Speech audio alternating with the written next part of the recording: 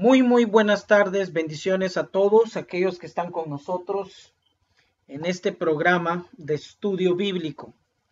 Gracias por acompañarnos. Como siempre es un placer estar transmitiendo para cada uno de ustedes y aquellos que escuchan nuestros temas después de que quedan grabados.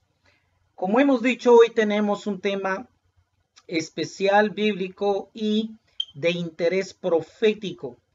Deseamos de que ustedes y los que escuchen este tema puedan ser bendecidos. Vamos a abrir nuestra Biblia y vamos a leer lo que dice el Señor en el libro de Lucas. Lucas capítulo 14, versículos 24. Dice la palabra de Dios así. Porque os digo que ninguno de aquellos hombres que fueron llamados gustará mi cena. Aquí está Jesús hablando de una invitación que él hizo. Pero de todos estos que él invitó, dicen las palabras bíblicas, palabras de Dios, ninguno de aquellos hombres que fueron llamados gustará mi cena. ¿Será usted uno de estos que no le gustará la cena de Dios? ¿Seré yo uno de los que rechazará el llamado en este tiempo? Ojalá que estas palabras proféticas de Lucas 14, versículos 24, no se cumplan con nosotros. Todo lo contrario, en Apocalipsis 3, versículo 20, el Señor dice, he aquí yo estoy a la puerta y llamo. Si alguno oyere mi voz y abriere la puerta, entraré a él y cenaré con él y él conmigo. En Lucas 14, versos 24, ya no hay esperanzas. En Apocalipsis 3, versículo 20, todavía hay esperanza. Evitemos estar allá en Lucas 14, 24 y abramos la puerta donde todavía hay esperanza de cenar, de comer comida espiritual de Apocalipsis 3, 20. Con esto en mente, los que puedan, vamos a arrodillarnos, vamos a pedirle al Señor que nos acompañe en esta hora. Padre nuestro, gracias por darnos el privilegio de estar aquí una vez más en este programa. Suplicamos eh, su bendición, su presencia, su compañía y que podamos no solo entender, disfrutar, sino encontrarnos en estas palabras proféticas, podamos alimentarnos de esa cena espiritual que está para nosotros hoy.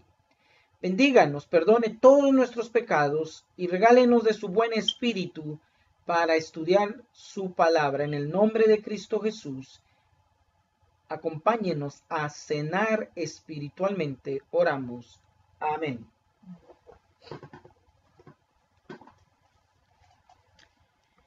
Muy bien, el tema de hoy eh, se titula Asiria en profecía. Para algunos totalmente nuevo, para otros eh, un repaso y para otros definitivamente les va a sorprender lo interesante que es este tema. ¿Qué es Asiria? ¿Quién fue Asiria? ¿Quién es Asiria hoy día? El tema, como ya dijimos, es Asiria. Asiria antitípica en profecía. Así que estamos listos para estudiar, listos para profundizar las escrituras, la profecía, la palabra de Dios. De hecho, eh, Asiria antitípica en profecía va a ser toda una serie En esta ocasión no vamos a terminar el tema porque es un tema muy profundo, eh, largo, extenso, pero cada tema que vamos a ir tocando sobre Asiria en profecía será un tema interesante, así que yo le imploro no se lo pierda, eh, trate de, estar, eh, puede suscribirse a nuestros correos, a nuestros textos eh, o a nuestras redes sociales para estar siempre en comunicación y poder compartirles la información de cada tema que vamos compartiendo aquí en la verdad profética. Nos pueden encontrar en laverdadprofética.com, nos pueden encontrar en miguelmartin.info, nos pueden encontrar en Facebook como La Verdad Profética, también buscando Miguel Martín separado. Eh, nos pueden encontrar en Twitter, nos pueden encontrar en Instagram, ya sea como La Verdad Profética o Miguel Martín 77. Miguel Martín 77. A todos aquellos que les fascinan las redes sociales, bueno, el único tiempo que tenemos para estar allí es compartir siempre eh, palabra de Dios, consejos, como también información de crecimiento. Así que este tema, el tema de Asiria en profecía, Asiria antitípica en profecía, es toda una serie. Deseamos que ustedes sean bendecidos con ello y que podamos eh, apreciar la manera en que Dios nos dirige y nos regala de su palabra. Hay un pensamiento que quiero compartirles antes de iniciar está en Eventos de los Últimos Días, página 118. Eventos de los Últimos Días, página 118 o carta 154, mayo 26, 1906. Y hablando de los escritos del Antiguo Testamento, como por ejemplo eh, Habacuc, Sofonías, Zacarías, Malaquías, etc., comenta el Espíritu Profecía y dice esto. Estas escenas pronto serán presenciadas tal como se las describe claramente. ¿A qué escenas se está refiriendo aquí? A escenas descritas en el Antiguo Testamento presento estas maravillosas declaraciones de las escrituras para consideración de todos. Presento estas maravillosas declaraciones de las escrituras para consideración de todos. Las profecías registradas en el Antiguo Testamento son la palabra del Señor para los últimos días. Repito, eventos de los últimos días, página 118. Las profecías registradas en el Antiguo Testamento son la palabra del Señor para los últimos días. Esta cita es crucial y es una de las citas favoritas del programa La Verdad Profética porque eh, hoy día eh, se entretiene al pueblo, se presentan shows, presentaciones, de tal manera que el pueblo pueda estar como quietecito, tranquilo, entretenido. Y nosotros no estamos aquí para entretener. Este no es un programa de entretenimiento es un centro de educación, es un centro de, enseñanza, es un lugar donde usted es inquietado a abrir su Biblia otra vez, a estudiar las escrituras y de manera específica analizar las profecías. Si bien usted estudia profecía, en la mayoría se encuentran los que estudian Daniel y Apocalipsis. pero muy pocos, poquísimos, unos cuantos contados con los dedos de una mano, son aquellos que estudian las profecías del Antiguo Testamento. Por eso nosotros ponemos un énfasis grande en las profecías del Antiguo Testamento, porque son las que no se estudian, no se analizan. Y basado en este pensamiento inspirado, eventos de los últimos días, páginas 118, dice las profecías, plural, las profecías registradas en el Antiguo Testamento son la palabra del Señor para los últimos días y se cumplirán tan seguramente como hemos visto la desolación de San Francisco. Wow. Noten que la sierva de Dios estaba usando como ejemplo lo que acababa de ocurrir en San Francisco. Y hoy bien podemos decir que estas profecías del Antiguo Testamento se van a cumplir tal y como han ocurrido las últimas desolaciones en diferentes ciudades, estados, países, naciones del mundo. Dios no miente. Así que espero de que usted esté entre los que estudian las profecías del Antiguo Testamento. Anote la cita, Eventos de los Últimos Días, página 118. Muy bien. Entrando entonces al tema, vamos a estudiar, vamos a empezar el análisis de una profecía del Antiguo Testamento, palabra de Dios, mensajes que aunque no son del paladar común, o sea, no son mensajes del todo populares y aceptados porque algunos dicen, no, hablemos del amor, hablemos de la misericordia y de la gracia y del Evangelio. Claro, hablemoslo, todo tiene su lugar, ¿verdad? Pero ¿qué con los juicios? ¿Qué con la investigación? ¿Qué con aquello que Dios hará con cada ser humano, con cada nación, con cada país, con cada ciudad con respecto a su vida, su comportamiento y lo que Dios espera mientras exista y lo que va a ocurrir una vez se declare juicio en favor o en contra de humanos, ciudades, pueblos, naciones.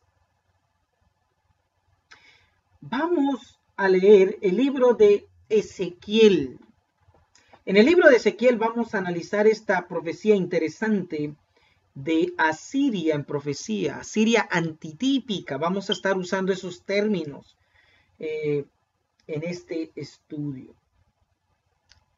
Muy bien, espero que esté tomando notas, espero que esté atento, esté eh, disfrutando en esta tarde, en esta hora, el estudio que estamos teniendo.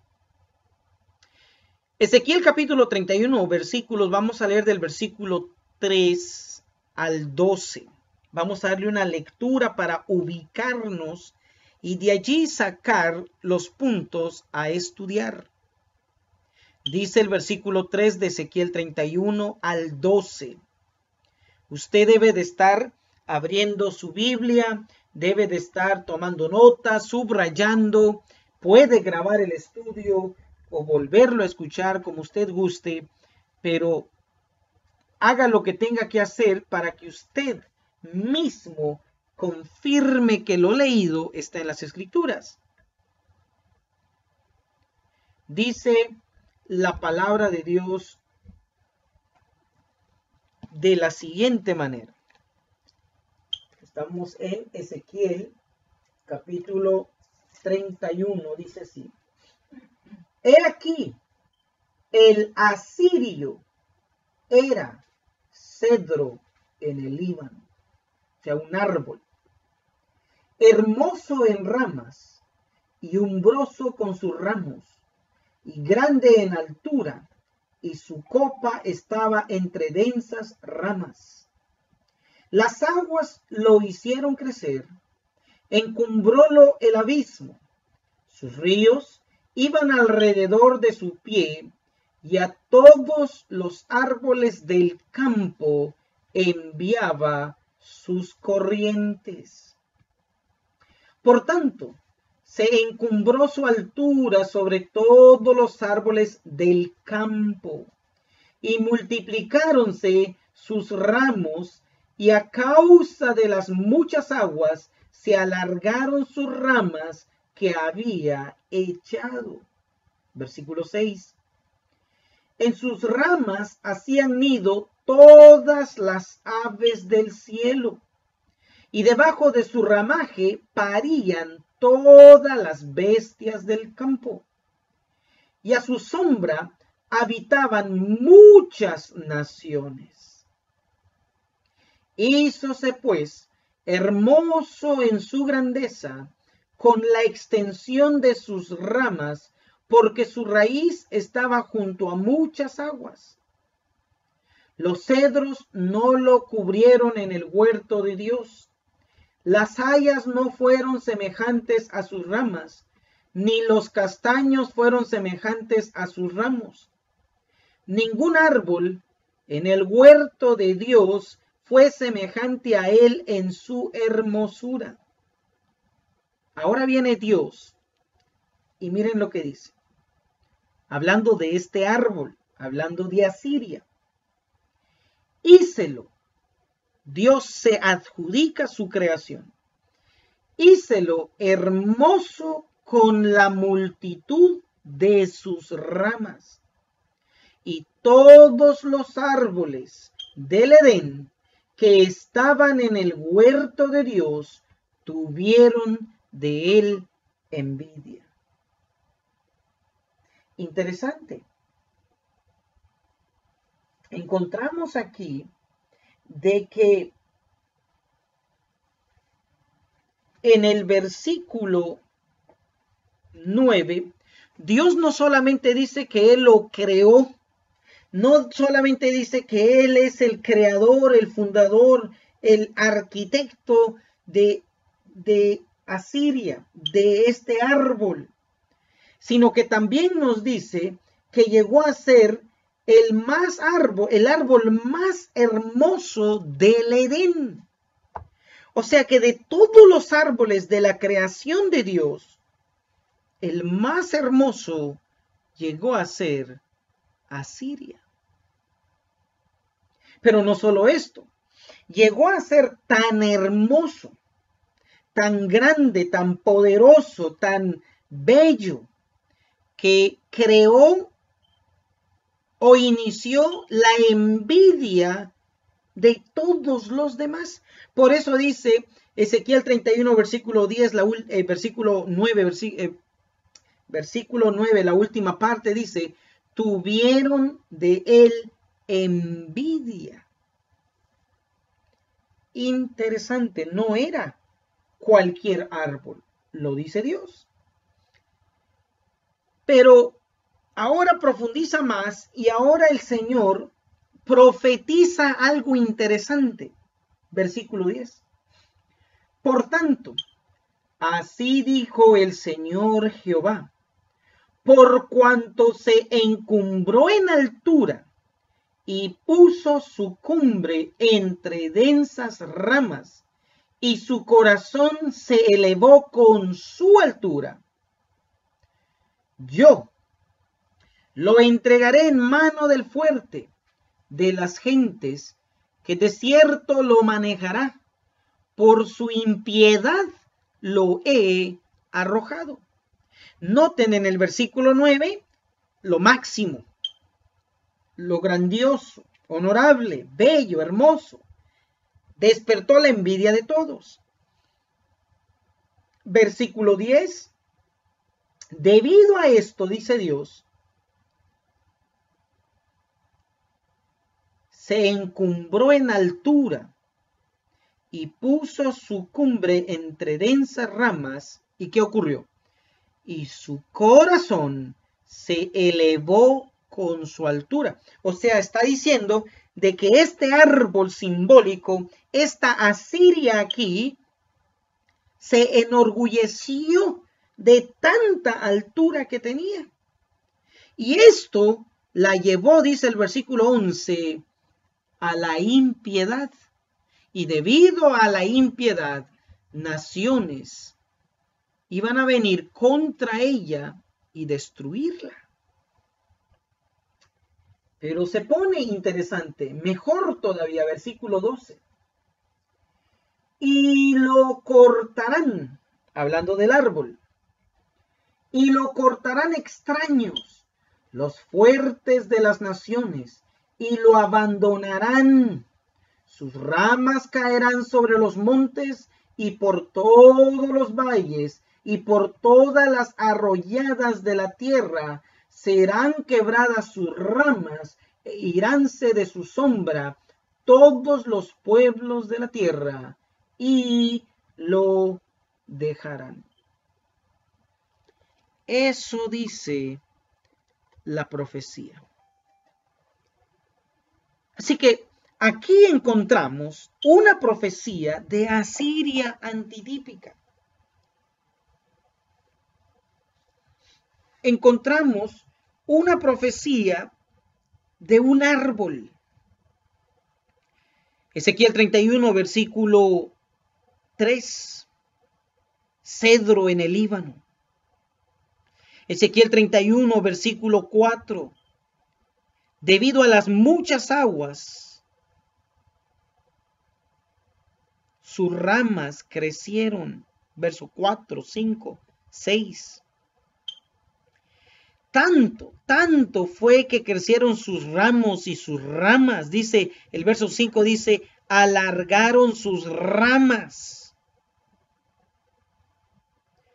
No solo, versos 6, 7, 8, habían bestias debajo de su sombra, naciones, sino que sobre sus ramas, versículo 5, y 6 dice que hicieron nido todas las aves del cielo y debajo de su ramaje parían todas las bestias del campo. Interesante. Sigue hablando de que creció y creció. Este era un árbol único, que el verso 7 dice, Hízose pues hermoso en su grandeza con la extensión de sus ramas, porque su raíz estaba junto a muchas aguas. Verso 8, verso 9, verso 10, dice y recalca que no hubo otro árbol como este. Aún árboles de su calibre y de su eh, potencial, verso 8. Acuérdense que en el 3 dice que era un cedro. Verso 8 dice, los plural, los cedros no lo cubrieron en el huerto de Dios. O sea que este era un cedro, era un árbol único, especial, gigante. Yo no sé si alguna vez ustedes han estado en Secoya, allá en California, y tengo entendido que hay otro lugar por allí, pero el que yo conozco es Secoya, donde están los árboles más grandes del mundo. Literalmente usted tiene que eh, voltear a ver así hacia arriba, hacia arriba, para poder ver lo grande que son los árboles o el tipo de árbol que existía antes del diluvio. Se requiere de muchas personas para poder rodear un solo árbol. Entonces viene esto a mi mente solamente para decir que este árbol profético de Ezequiel 31 no es cualquier árbol. Primero, Dios es el que está describiendo lo que era, lo que llegó a ser, lo que llegó a extenderse. Y es Dios el que dice que este árbol ni los cedros, ni los árboles de su propia familia no lo cubrieron en el huerto de Dios. Las hayas, árboles, arbustos, no fueron semejantes a sus ramas. Así que ningún árbol en términos de altura podía igualarlo y en sus ramas ni las hayas ni los árboles fueron semejantes a sus ramas. Y si no entendemos, ni los castaños fueron semejantes a sus ramos.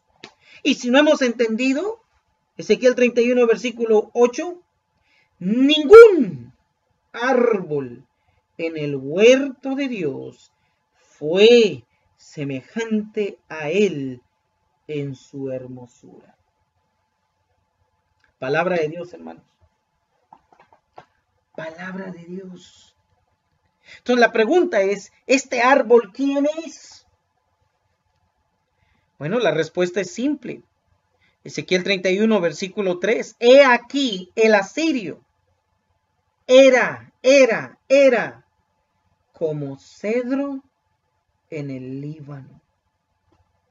Así que el árbol que estamos hablando aquí en Ezequiel 31 está representando, está simbolizando a primera vista al asirio. Al asirio. Y asirio no era otra cosa que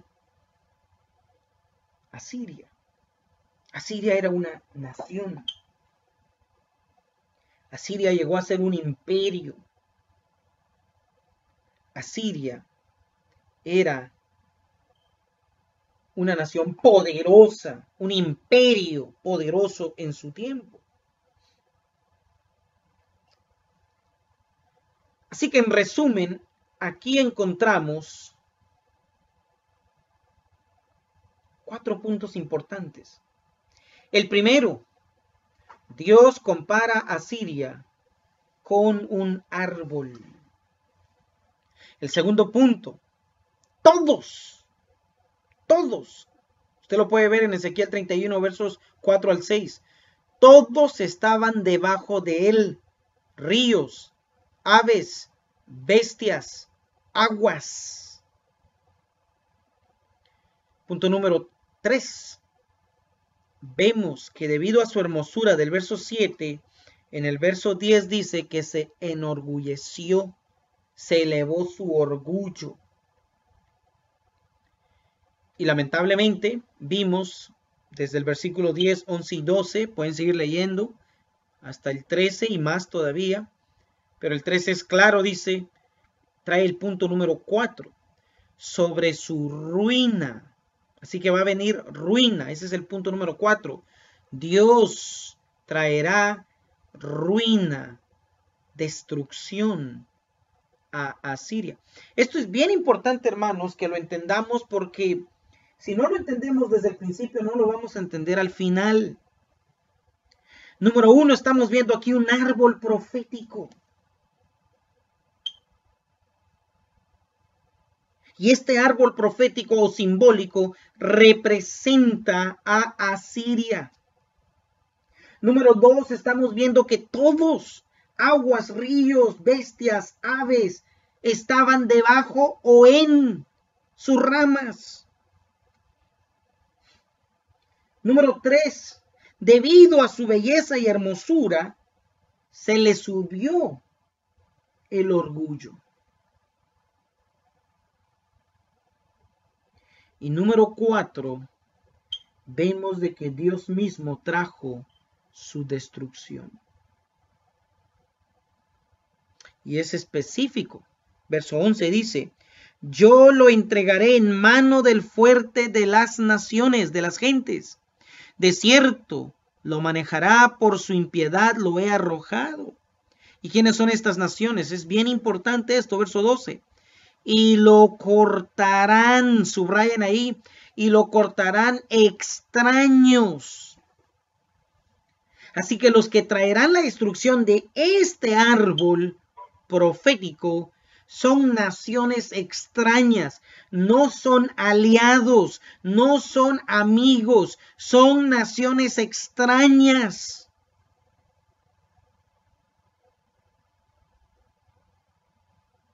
Interesante. Eso es lo que encontramos aquí. Tan importante es este tema que el espíritu de profecía dice lo siguiente, Profetas y Reyes, página 268.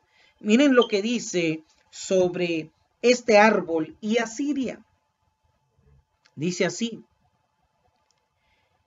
la inspiración ha comparado la gloria de Asiria en el apogeo de su prosperidad con un noble árbol del huerto de Dios que superará todos los árboles de los alrededores. Profetas y Reyes, página 268. Espero que esté tomando notas, esté subrayando. Estos temas no se escuchan en cada púlpito. Raramente usted va a escuchar uno de estos temas. Así que Profetas y Reyes, página 268, claramente dice, la inspiración ha comparado la gloria de Asiria, del imperio asirio, en el apogeo de su prosperidad, con un noble árbol del huerto de Dios que superará a todos los árboles de los alrededores. Profetas y reyes. Página 268. Cita Ezequiel 31. He aquí, era el asirio, cedro en el Líbano, hermoso en sus ramas y umbroso con sus ramos, y de grande altura, y su copa estaba entre densas ramas, densas ramas, etcétera, etcétera. Ahora miren, ¿por qué es que Dios comparó a esta nación con un árbol? ¿Y qué llegó a ser? Profetas y Reyes 2.68 sigue diciendo, pero los gobernantes de Asiria, en vez de emplear sus beneficios, sus bendiciones extraordinarias para el beneficio de la humanidad, hablando de la Siria antigua, llegaron a ser el azote de muchas tierras. Entonces no solamente llegó a ser una poderosa nación, un árbol simbólico, un noble árbol le llama la inspiración, sino que Dios mismo levantó a Siria para que llegara a ser una bendición de la humanidad en su tiempo. Pero llegaron a ser el azote de muchas tierras. Así que otro de los puntos que podemos recalcar aquí claramente es Asiria llegó a ser que grande, poderosa, influyente. Básicamente tenía el control del mundo en su tiempo. Pero Dios la había levantado para bendecir, no para maldecir. La había levantado para construir, no para destruir. La había levantado para producir, no para consumir y sin embargo se convirtieron en el azote de muchas tierras. ¿Qué otras características tenía la Asiria antigua? Espero que a estas alturas estén ya ubicados esta profecía de Ezequiel 31 está hablando de un árbol profético representando a la nación, al imperio asirio de la antigüedad. Y es importante entender esto porque estas enseñanzas nos van a traer al mundo presente. Porque así como hubo una Asiria antigua, hay una Asiria moderna. Y por eso es que si entendemos las características de la Asiria antigua, podremos fácilmente detectar, encontrar a la Asiria moderna. A la Asiria antitípica.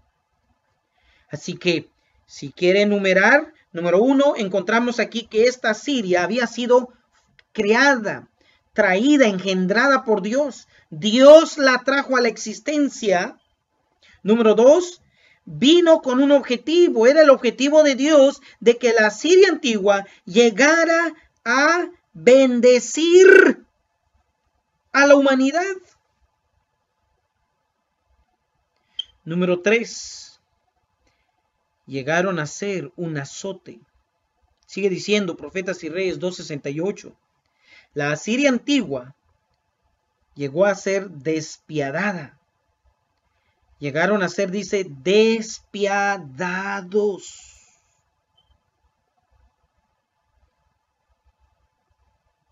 ¿Qué más? Llegaron a ser un imperio sin consideración para Dios. Sin consideración para sus semejantes. Así que, ya mencionamos, Dios la trajo con un propósito.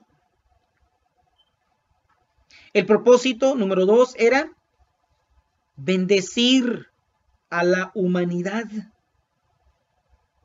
Lamentablemente, número tres, llegaron a ser un azote para las naciones de su tiempo. Número cuatro, se convirtieron en despiadados, crueles. Número cinco, dejaron de tener consideración a Dios. Número seis, dejaron de ser misericordiosos considerados a sus semejantes. Número siete, dice aquí eh, Profetas y Reyes 268 se dedicaron con terquedad a obligar a todas las naciones a reconocer la supremacía de los dioses de Nínive. Así que, número uno, fueron creados por Dios para bendecir pero no, no lo hicieron. Número dos, Dios quería que sus bendiciones se expandieran en la humanidad. Número tres, se convirtieron en azote. Número cuatro, vinieron a ser despiadados. Número cinco, no tenían consideración para Dios, no respetaban a Dios. Número siete, no tenían misericordia para sus semejantes. Tres, cuatro, cinco, perdón. Seis, no tenían misericordia para sus semejantes. Eran egoístas. Número siete, se volvieron tercos. Era una nación terca. Número ocho, obligaron a todas las naciones a reconocer sus dioses, su religión. Ahora, este punto es importante, hermanos, porque proyectando hacia el futuro, todos sabemos que viene un tiempo donde se va a querer obligar a todo el mundo a seguir cierta religión, cierta ley. Sí, sí, les estoy hablando de la ley dominical del nuevo orden mundial. Aquí está el mensaje, aquí en la Asiria antitípica, o mejor dicho, en la Siria antigua, en esta Siria representado por este árbol profético de Ezequiel 31, encontramos el futuro, encontramos las características de la nación que va a traer una ley, de la nación que va a obligar al mundo, una nación terca, una nación egoísta, una nación que ha olvidado la consideración de Dios y en vez de beneficiar ha venido a ser egoísta y no le importa los derechos. Y suena contradictorio, ¿verdad? Porque hoy se pelean por los derechos de los humanos. Pero viene el tiempo donde en verdad se traducirá este interés por derechos como intereses personales, intereses eh, del Estado, que como la antigua Siria no tenían ninguna consideración hacia sus semejantes. Así que es importante entender estos detalles de la Siria antigua porque profetiza la Asiria moderna, nos presenta la Asiria antitípica. Número 8, decíamos, es una nación que va a obligar a todas las naciones, como fue antigua en Siria. Una nación que obligó, dice aquí, estoy leyendo Profetas y Reyes 268, se dedicaron con terquedad, dice, a obligar a todas las naciones a reconocer la supremacía de los dioses de Nínive, a los cuales ensalzaban sobre el Altísimo. Noten, punto número 9, esta nación que está hablando aquí, la Siria antigua, llegó a ensalzar su religión, sus creencias, su ley sobre la ley de Dios, sobre el conocimiento de Dios, sobre Dios mismo.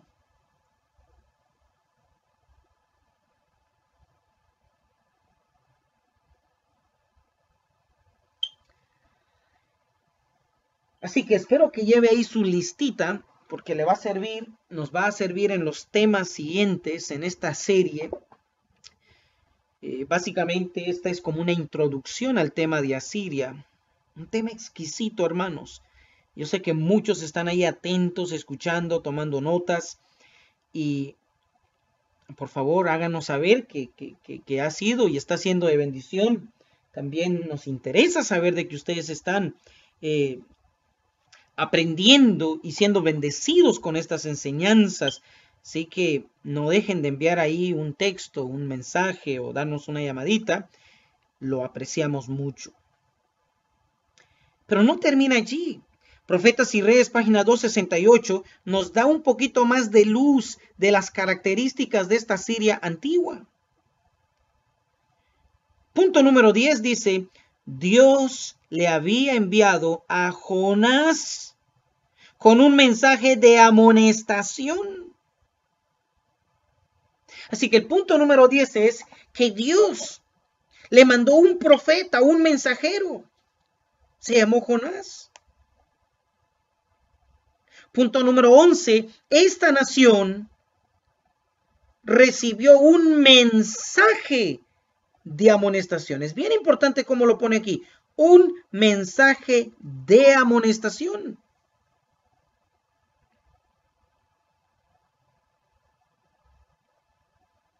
Esta nación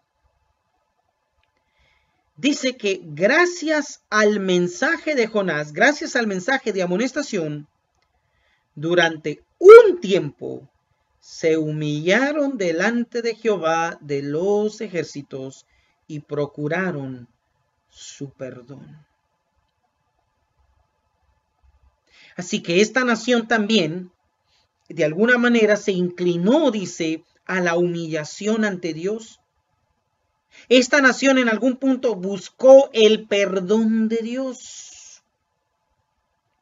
Así que, enumerando todos estos puntos característicos de Asiria, encontramos en basado en Profetas y Reyes, página 268. Número uno, Asiria fue levantada, traída a la existencia por Dios. Número dos, aprendimos que esta Asiria el propósito era bendecir a la humanidad. Lamentablemente se desviaron. Punto número tres, se volvió un azote al mundo. Punto cuatro, vinieron a ser despiadados. Punto cinco, no tenían consideración, respeto, temor de Dios. Punto seis, no tenían respeto, misericordia hacia sus semejantes. Punto 7. Era una nación terca. Punto 8. Obligaron a todo el mundo de su tiempo a reverenciar, adorar a los dioses de Nínive. Punto 9. Se ensalzaron encima y sobre el Altísimo. Ensalzamiento. Punto 10. Dios le mandó un mensajero Punto 11. Dios le mandó un mensaje de amonestación. Punto 12. Buscaron la humillación. Y punto 13. Procuraron el perdón. Interesante. Interesante. Entonces, está viendo cuán importante es que nosotros podamos ver que en las profecías Dios nos habla, nos ilumina. Eh, al, repasar el pasado, entendemos el futuro. Porque esta Asiria, este árbol profético aquí de Ezequiel 31, no solo está hablando de la Siria antitípica, sino que nos proyecta a la Siria, no solamente está hablando de la Siria antigua, sino que también nos proyecta a la Asiria antitípica, a la futura, a la de nuestro tiempo. Y si usted va siguiendo nuestros estudios y ha estado analizando estos temas, usted ha encontrado a la Asiria antitípica, ha encontrado a la Asiria moderna, a esa nación que hoy tiene las mismas características de la Asiria antigua. Sí, sí, si usted está pensando en Inglaterra, está pensando en Estados Unidos y sus aliados, está en el camino correcto de entender a la Asiria moderna. Pero bueno, todavía no hemos llegado allí. Otra cita está en el comentario bíblico adventista, tomo 4. Comentario bíblico adventista, tomo 4, página 285.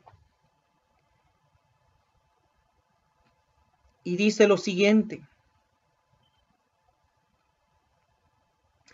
En el tiempo de Isaías, Asiria era la nación más poderosa de la tierra y todos la temían. Ok, agréguele a la lista que ya teníamos, punto número 14. Esta Asiria fue, dice, la más poderosa en los días de Isaías. Punto 15 y todos la temían.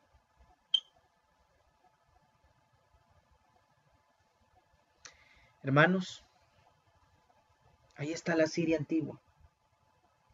Ahí está la historia de la Siria antigua. ¿Había usted analizado esto? Pero ¿cuál es el mensaje? Porque si llegamos a encontrar a la Siria moderna, ¿cuál es el mensaje para nosotros? ¿Qué quiere Dios enseñarnos? ¿Cuál es el objetivo de entender Ezequiel 31? ¿Cuál es el objetivo de entender estas características? Si está en la Biblia debe ser importante, debe ser parte del mensaje de salvación. Sigue diciendo el comentario bíblico adventista, tomo 4, página 287. En el tiempo de Isaías, Asiria era la nación más poderosa de la tierra y todos la temían. Pero el Señor deseaba que su pueblo comprendiera que esta gran nación era como nada delante de él. Wow. El, el, objetivo de Dios, Dios no negaba lo que Asiria había llegado a ser.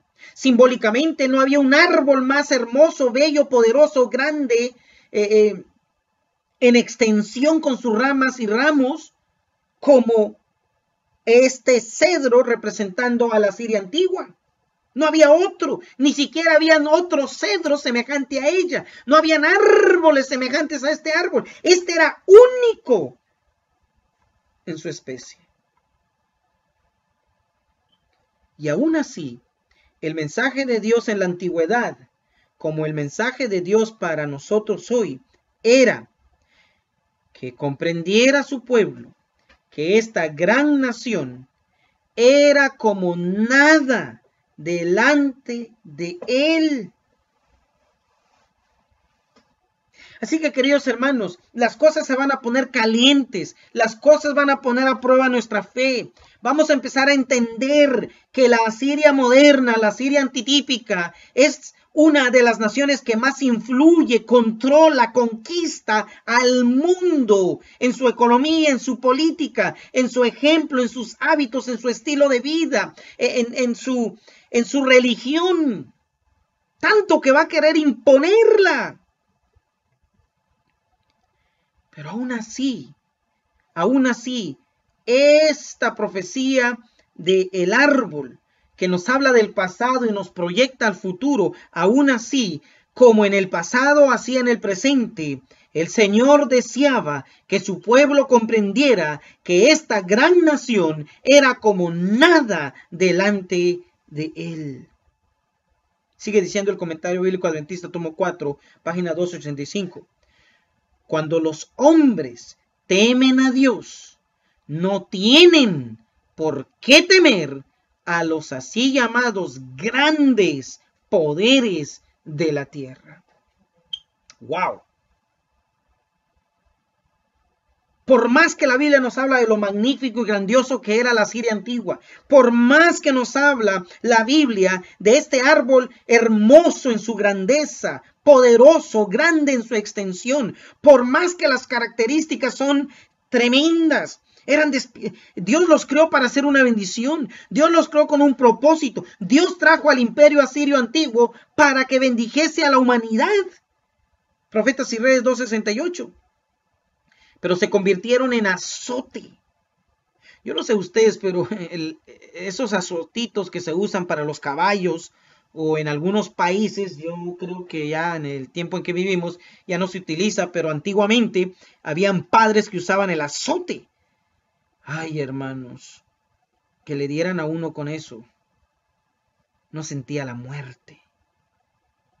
Asiria antigua llegó a ser un azote, no un cinturón, no un cincho, como dice el guatemalteco, y usted podrá ponerle otro nombre como se dice en su país.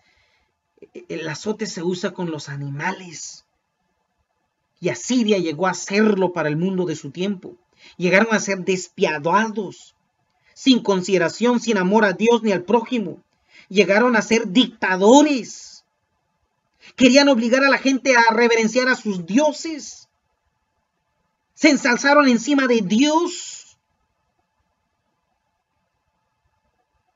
Estamos ya entendiendo para dónde nos guía esta profecía.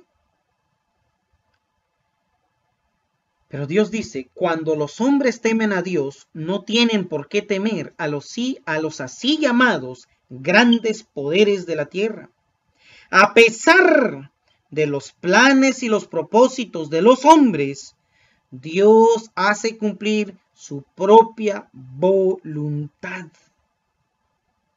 Comentario bíblico adventista, tomo 4, página 2, 85.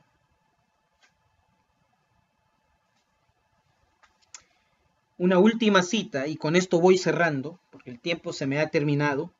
Ya les dije, va a ser una serie, así que no se pierdan la serie, va a estar interesante.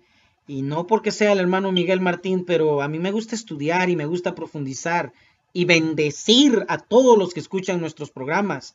Así que lo que viene para este tema, hermanos, es extraordinario. No se los pierdan. Inviten a otros, compartan estas verdades. Por último, dice Profetas y Reyes, página 268, dice sí. Dios les mandó el mensaje, Dios les mandó esperanza, Dios les mandó el perdón, pero no quisieron. Así que dice Profetas y Reyes 268. Pero los gobernantes de Asiria pronto se volvieron a adorar los ídolos y a tratar, ojo y oído, porque esto es clave, y a tratar de conquistar el mundo. Mis hermanos, Asiria antigua llegó a ser un país, una nación conquistadora. ¿Quién en nuestro tiempo está tratando de conquistar al mundo? ¿Qué nación en nuestro tiempo tiene debajo de su sombra, debajo de sus ramas, de su política, de su economía, de su, de su organización, de su concepto, de su estilo de vida, tiene casi controlado al mundo y a los que no están debajo de sus ramas ni han hecho nido en sus ramaques, ¿acaso no está tratando de conquistarlos? Así que los dejo con esta pregunta. ¿Quién es la Asiria de hoy? Aquí vimos a la Asiria de ayer, a la Asiria antigua. Aquí hemos visto a la Asiria del pasado. Lo que viene es tremendo, profundo, a la misma vez hermoso. Pero estas palabras son claves para nosotros. Comentario bíblico adventista, tomo 4, 285. Pero el Señor deseaba que su pueblo comprendiera que esta gran nación era como nada delante de él. Cuando los hombres temen a Dios, no tienen por qué temer a los sí llamados grandes poderes de la tierra. A pesar de los planes y los propósitos de los hombres, Dios hace cumplir su propia voluntad. Ha sido un placer, queridos hermanos. Gracias por haber estado con nosotros. Este es el inicio de esta gran serie, Asiria en profecía. Así que ha sido un placer. Nos vamos a despedir en oración. Recuerden, visítenos la verdadprofética.com o pueden encontrarnos también en miguelmartin.info o llamarnos al 214-205-5904, 214 205-5904, una vez más, 214-205-5904. Que haya sido de bendición, vamos a despedirnos con una oración. Querido Dios, te agradecemos por este estudio a manera de introducción, Señor, a los temas que vamos a analizar en el tema de Asiria en profecía. Bendice a tu pueblo, Señor, al analizar este tema, que puedan estudiar, ir a la Biblia y buscar todo lo que habla de la Siria antigua y de la Asiria profética o antitípica o moderna de nuestro tiempo. Si está escrito es importante. Y te pedimos sabiduría, te pedimos gracia divina para entender estas cosas. Inquieta el espíritu de tus hijos y que podamos comprender estas verdades, porque pronto, pronto, pronto, pronto tendremos que llegar a ser como Jonás, llevar un mensaje de amonestación a la Asiria antitípica, a la, Asiria de nuestro tiempo. Prepáranos, Señor, y ayúdanos, porque Jonás antiguo que hizo, corrió. Por eso es que mucha gente no habla de estos temas, porque no son temas fáciles de tratar. Pero tú, Señor, si tenemos el temor de Dios, no hay razón de temer a estos poderes, por más grandes que sean. Hágase tu voluntad, cúbrenos, y será hasta la próxima, en el nombre de Cristo Jesús. Amén. Amén.